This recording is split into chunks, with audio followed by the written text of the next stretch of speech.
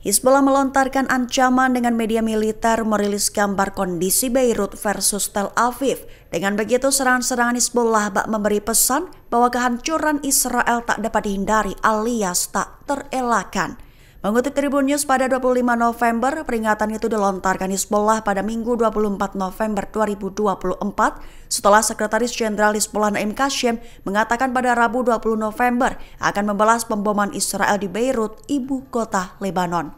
Terbaru media militer Hizbullah menerbitkan gambar Beirut versus Tel Aviv yang menunjukkan dampak kehancuran akibat jatuhnya roket di jalan raya di Israel.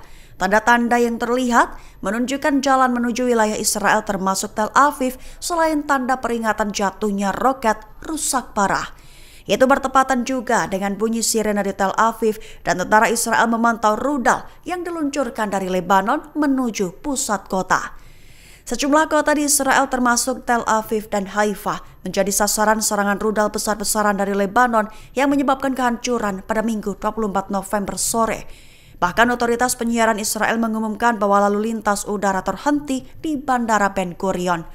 Selain itu ledakan terdengar di Israel Tengah setelah peluncuran 10 rudal menuju Tel Aviv.